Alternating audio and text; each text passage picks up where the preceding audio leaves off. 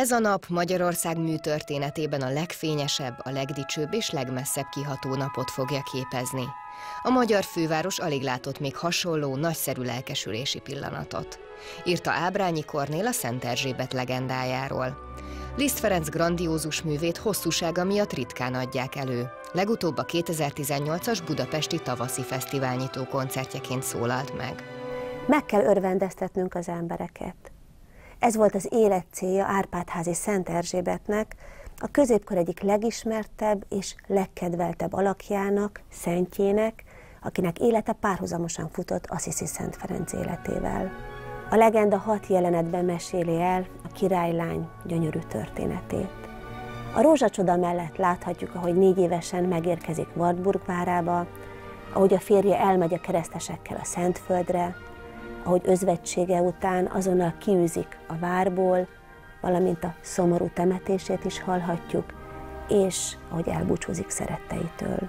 Lisztet már Weimári évei alatt erősen foglalkoztatta a magyar királylány és a bajor hercegasszony története, és a Weimári nagyherceg társaságában el is látogatott Erzsébet egykori lakóhelyére, Wartburg várába.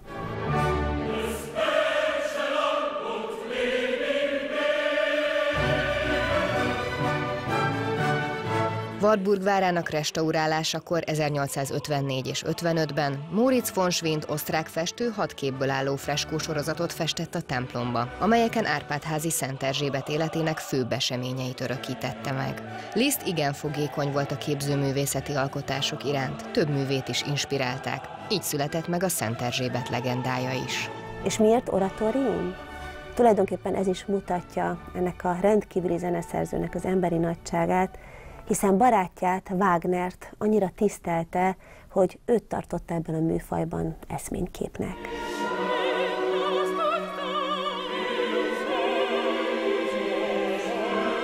Az oratórium cselekményének vázlatát Wittgenstein hercegnő írta meg, és ennek nyomán készítette a szövegkönyvet Otto Rocket német költő 1856-ban. A számomra zeneileg és emberileg is legnagyobbnak tartott magyar zeneszerző 1862-ben a mű befejezésekor a rá jellemző lelkesedéssel írta Franz Brandelnek, a Neue Zeitschrift für Musik főszerkesztőjének a következő mondatot. A Szent Erzsébet partitúrája az utolsó hangig kész. És Mosonyi Mihálynak pedig azt, hogyha minden óhajom valósággá válik, akkor én azt hiszem, hogy ez a mű integrálsan bekerül majd a magyar zeneművészetbe. Ez így is lett, sokat dolgozott még a művön, átdolgozta, és jó pár év múlva jelent csak meg kiadásban, bár 1867-ben az ongora kivonatát már mindenki otthon gyakorolhatta.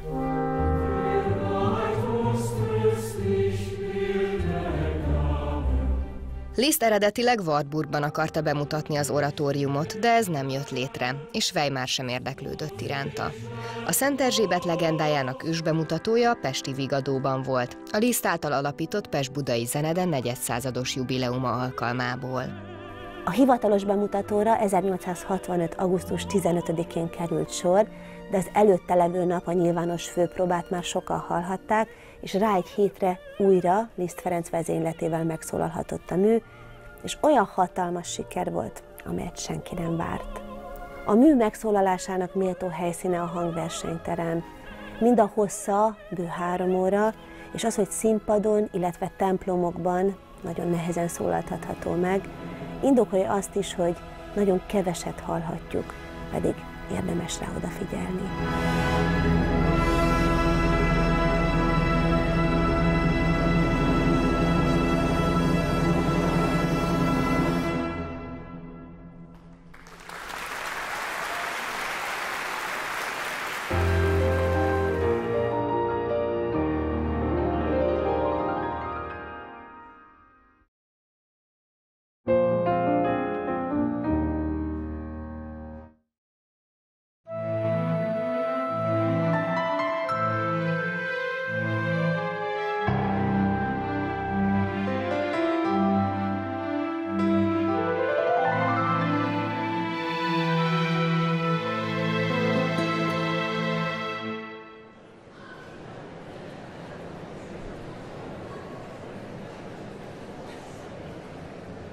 Köszöntöm a kedves nézőket innen a Műpából, a Műpárt Klasszik állandó helyszínéről, Bősze Ádám vagyok. Árpádházi Szent Erzsébet egyike azon magyar szenteknek, akiknek mind a képzőművészet, mind pedig a zeneművészet méltó emléket hagyott fontos alkotásokban. Hogy az utóbbival kezdjem, ezek egyike Richard Wagner Tannhäuser című operája, illetve Liszt Ferenc Szent Erzsébet oratóriuma. Az oratóriumot a 2018-as tavaszi fesztiválon adták elő, itt a Bartók Béla Nemzeti Hangversenyteremben. Ezt a felvételt láthatják ma. A darab keletkezésének körülményeiről Eckhart Mária Liszt kutatóval beszélgetek. Vajon van-e bármilyen párhuzam Liszt Ferenc és Szent Erzsébet alakja, pályája, életútja között? Hát nem, hogy bármilyen, hanem nagyon sok. Ha csak a legszembe tűnőbbet vesszük előre, mindketten Magyarországon születtek, magyarnak tartották magukat, de az életük nagy részét Türingiában ugyanazon a helyen gyakorlatilag, szinte ugyanazon a helyen élték le. Ugye Szent Erzsébet a, a Wartburg várában, amely a Szászvejmári nagyhercegséghez tartozott, és Liszt, mint Szászvejmári udvari karmester az 50-es években, és később is a háromszög korszakában is az évnek egyharmadát Weimarban töltötte. Ez a legszembetűnőbb párhuzam. Egy másik szerintem nagyon fontos párhuzam a Ferences kapcsolat, nem annyira köztudott, hogy Szent Erzsébet volt talán az első női harmadrendi Ferences. És azt meg nagyon jól tudjuk, hogy Liszt a Ferences világi rendnek a tagja lett éppen az 50-es években, amikor a Szent Erzsébet legendáját is aztán elkezdte komponálni. És végül a harmadik az, hogy Szent Erzsébet életét a jótékonyság jellemezte, és ezt elmondhatjuk Liszt Ferencről is, minden értelemben, olyan értelemben is, hogy rengeteg hangversenyt adott jótékony célokra, meg olyan értelemben is, hogy segítette a fiatal pályatársait, és segítette azokat a pályatársait, akiket senki nem ismert el. Tehát azt gondolom, hogy ez éppen elég, és olyannyira elég, hogy annak idején a Liszt Ferenc Emlékmúzeumban még egy kiállítást is szerveztünk, aminek az volt a címe, hogy Liszt Szent Erzsébet nyomában. Liszt Ferenc hogyan találkozott Szent Erzsébettel? Gondolok itt elsősorban arra a találkozásra, inspirációra, ami aztán a Szent Erzsébet oratórium megírásához vezette. Hát a legnyilvánvalóbb inspirációs forrás az volt, hogy az 50-es években folyt Wartburg várának a restaurálása, és ennek kapcsán megbízták Moritz Schwind német festőt, hogy a galériába fessen egy sorozatot Szent Erzsébet életéről. Ezt most ezt a galériát, amely hat festményt tartalmaz, és kisebb medáljonokat az irgalmasság cselekedeteiről, a festmények pedig Szent Erzsébet életének különböző epizódjairól. Ezt ma Elizabeth Galerinek hívják, és az oratórium, amit Liszt elkészített, teljes címén Szent Erzsébet legendája, az pontosan ugyanebből a hat képből áll, mint amelyek díszítik az Elizabeth Gallery falát, Moritz Schwind alkotásai. Melyek ezek a képek? Hát az, az első kép Szent Erzsébet megérkezése Wartburg várába, még kisgyermekként, akkor a második Lajos őrgrófnak a találkozása Szent Erzsébettel, aki jótékonykodik, és ennivalót vissza szegényeknek, és amikor félelmében ezt nem meri el árulni a férjének, hanem azt mondja, hogy rózsák vannak a kötényében, akkor csoda történik, és a kenyerek valóban rózsává változnak. Azután a, a, a harmadik kép, amikor keresztes lovakként ö, harcba indul Szent Erzsébetnek a férje, akivel igen-igen harmonikus házasságban éltek, nagyon szerették egymást. A negyedik jelenet már egy tragikus epizódot ábrázol, amikor a keresztes hadjárat során elhunyt őrgrófnak az édesanyja magához kaparintja a hatalmat, és kiűzi Szent Erzsébetet a Wartburg várából a gyermekeivel együtt. Az ötödik jelenet a szegényeket ápoló jótékony Szent Erzsébetet ábrázolja, és az utolsó pedig azt a jelenetet, amikor nem sokkal halála után már felmagasztálják és szenté avatják. A Szent Erzsébet legenda ősbemutatója Budapesten volt, nem is olyan messze, illetve hát akkor még ez Pest volt, nem is Budapest, nem is olyan messze innen a Vigadóban. A korabeli kritikák egyikében olvastam, hogy három és fél órányi műről van szó, harmadfél órának írták ezt akkor, ami egy normális koncert hossznak volt tekinthető. Ez azt jelentette, hogy Liszt felment a színpadra, elvezényelte a Szent Erzsébet legendáját, vagy történt ott más is? Hát alapvetően azt jelentette, hogy Liszt dirigált, két részletben persze, és nagyon lelkesen írt utána arról, hogy 500 előadó volt, és mintegy 2000 hallgató, és egészen hatalmas lelkesedés fogadta az előadást. De meg kell mondani, hogy nagyon elő is volt készítve, ez 1865. augusztus 15-én történt, ami nevezetes dátumként vonult be a magyar zenetörténetbe, de előző nap volt egy nyilvános főpróba is, és annyira nagy sikere volt, tomboló sikere az előadásnak, hogy augusztus 23-án megismételték. Tehát gyakorlatilag háromszor hallhatta a publikum a darabot, ami nagyon kellett is, mert nem fértek be mindannyian a terembe, akik érdeklődtek.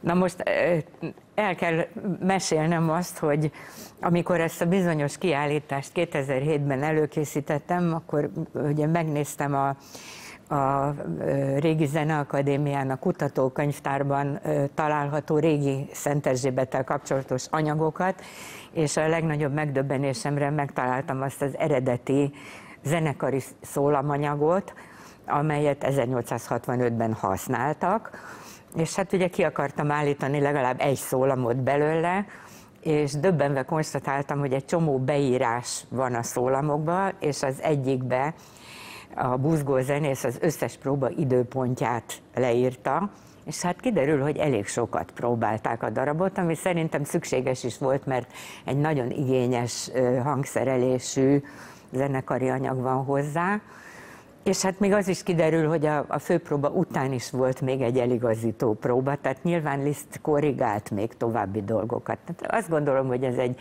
szép előadás lehetett. Különlegessége az, hogy ugyan a mű eredetileg német nyelven készült, hiszen az eredeti gondolat az volt, hogy amikor elkészül a Wartburg rekonstrukciója, ott fogják az ősbemutatót tartani, de végül is ez húzódott, és amikor Lisztet a Nemzeti Zenede 25 éves jubileumára Pestre hívták, akkor ő úgy gondolta, hogy ezt a nagy ajándékot hozza magával, hogy itt lesz a Szent Erzsébet legendájának az ősbemutatója.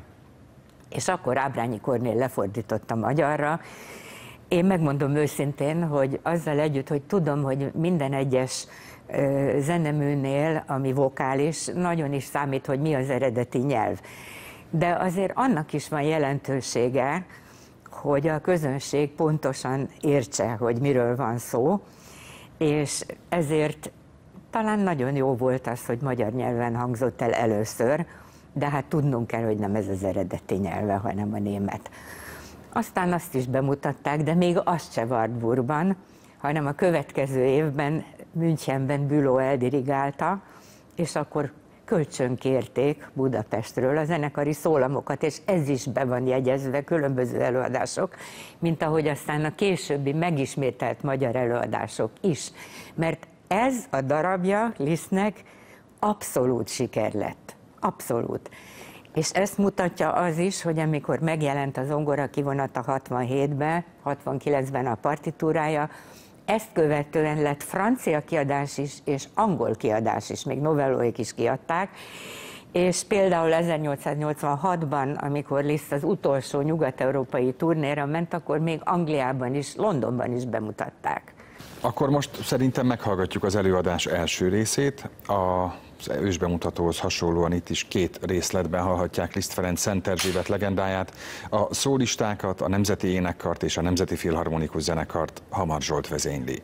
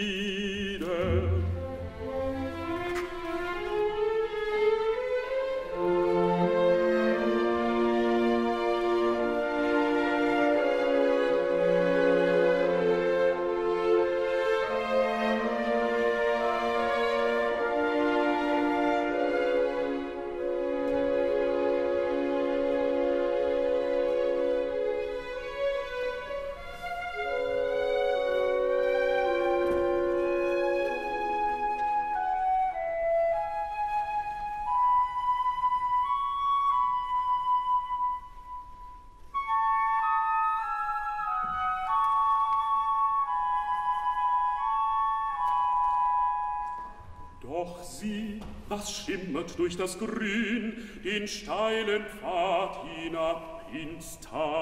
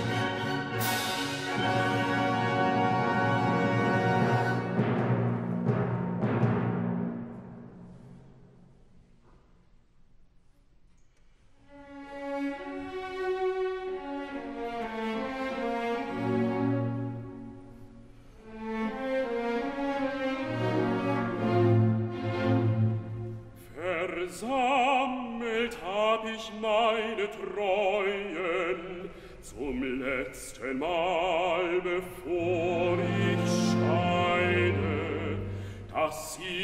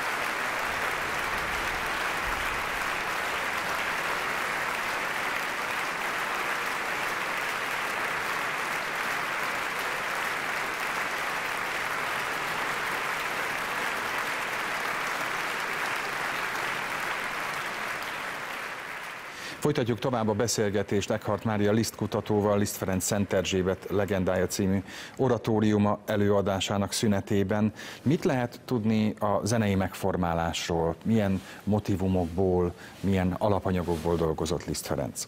Egészen különleges az, hogy mekkora hát kutató, pontosabban gyűjtő munkát végzett, mielőtt hozzáfogott a komponáláshoz.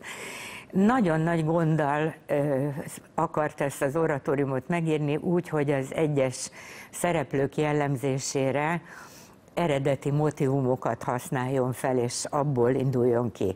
Hát mindenek előtt Szent Erzsébet ö, alakjához kellett találnia egy olyan ö, gregorián dallamot, lehetőleg, ami konkrétan ő hozzá kötődik. És elképesztő, hogy mekkora munkát fejtett ki ennek érdekében. Először Franciaországban próbált Szent Erzsébet életrajzírójánál, Montalambernél és másoknál érdeklődni, aztán később a magyar barátoknak írt, és nagyon sokan keresgéltek is, és végül Mosonyi Mihály küldött egy olyan ö, egyszerű ö, himnuszt, a kvázi Stella Matituna kezdetű himnuszt, amelynek a kezdő motivuma végül is különlegesen tetszett Lisznek, amin egyáltalán nem csodálkozom, mert nagyon-nagyon jól lehetett vele dolgozni alapanyagként. Ez a, ez a motivum, ezt csodálatosan fel lehetett használni, a szelít Szent Erzsébet, a diadalmas Szent Erzsébet, a szenvedő Szent Erzsébet jellemzésére. A, nagyon is hálás volt Liszt Mosonyinak, de az az érdekes, hogy a partitúra kiadásakor az összes többieknek is, akik Magyarországon próbáltak neki segíteni, felsorolja a nevét és köszönetet mond nekik. A másik ö, Magyarországról kapott anyag ö, Mátrai Gábor küldeménye, egy olyan Szent Erzsébetről szóló ének, amit a mai napig énekelünk a templomban az ő ünnepén, a Szent Erzsébet asszony életéről, ami Nárai Lira Celestiszéből származik. Ez a, ez a ének. A további motivumok közül kapott a zarándokoknak a jellemzésére barátjától, Gottságtól, a Weimar közeli Tifurt organistájától egy német, ő úgy gondolta Gottschalk, hogy egy régi zarándokének, hát nem volt nagyon régi, de a Schönsterherr Jézu ezt is sokan ismerik, és ezt feldolgozta a zarándokok kórusában. Ezzel nem játszadozott annyira el, hanem egy az egybe belerakta, más szöveggel de nagyon-nagyon fontos, és talán Liz szívéhez legközelebb áll a keresztesek motivuma, ami egy gregorián himnusz kezdete, ami különböző szövegekkel él, de Liz számára a Crux Fidelis, a, a kereszt gregorián dallama volt a leglényegesebb. Ez a szóládó, ez a motivum, amit azt azt mondhatjuk, hogy Liszt zenei névjegye, de már nem csak a Szent Erzsébetben, hanem már korábban is használta, és aztán jóval később is, és a legfeltűnőbben a Via Crucisban természetesen ebbe a nagyon késői gyönyörű, hát nem is tudom minek nevezzem, passió darabjában. És ezt a motivumot természetesen a keresztes lovagok indulójában a keresztesek jellemzésére használta fel. Van még egy utolsó Magyarországról kapott motivum is, amit Reményi Ede szállított Lisztnek. Ez egy ilyen népies műdal, nem ettem én ma egyebet, és Hát szokták, egyes elemzők azt mondják, hogy ez kiri az egészből, de szerintem nem ri igazán ki, mert a korszellemnek nagyon megfelelt ez a rattararam, pam, pam, pam, pam, egy kicsit ilyen ö, magyaros, kicsit a verbunkos felé utaló kis dallamocska. Meg hát akkoriban még ezt gondolták ez, népdalnak. Ezt tehát. gondolták népdalnak, ebben semmi rossz nincs, mert abszolút közismert volt olyannyira, hogy tudom én, Erkel a bankban is egy nagyon hasonló változatát felhasználta. Mindezek egy nagyon változatos zenei anyagot jelentenek, de Liszt nagyon ügyesen tudott ezzel élni, úgy, hogy a megfelelő hangulatát vissza tudja adni az egyes képeknek.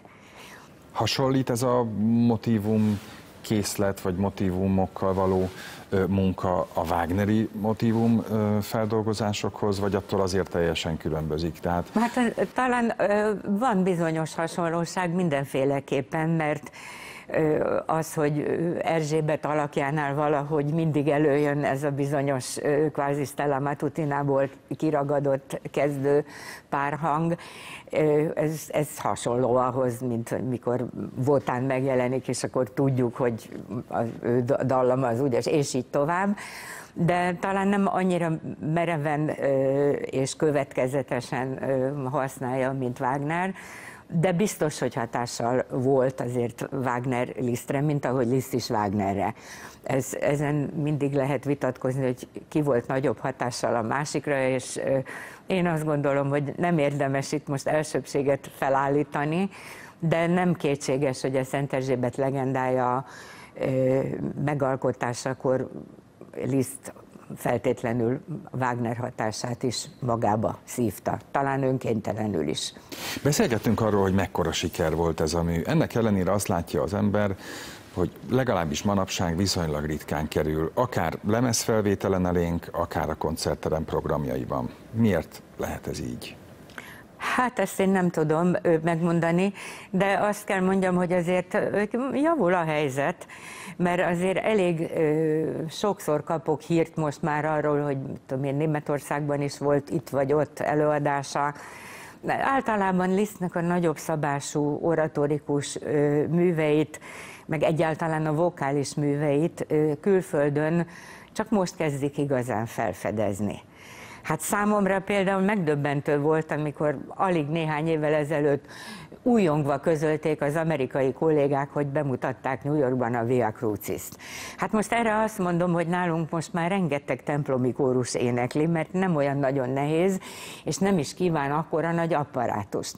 Na most az, hogy a Krisztus oratóriumot hát esemény számba megy, hogyha valahol megcsinálják, ennek az az oka, hogy nagyon drága produkció, mert hatalmas zenekar kell hozzá, olyan kórus, amelyik akapellai stúdió énekelni, meg ö, átütően a zenekarba, rengeteg szólista, és így tovább.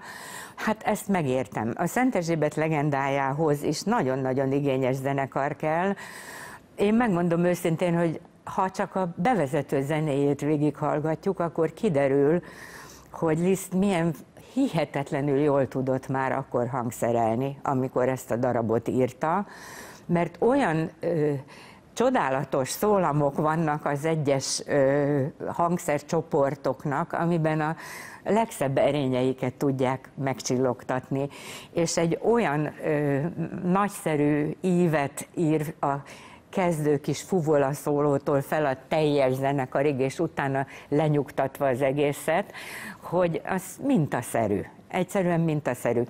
Na most hát azt gondolom, hogy nem mindenhol tudják ezeket a feltételeket biztosítani, meg kell is, hogy mi csináljunk egy kis kedvet sok jó magyar előadással ahhoz, hogy rájöjjenek, hogy hát ezt, ezt muszáj csinálni.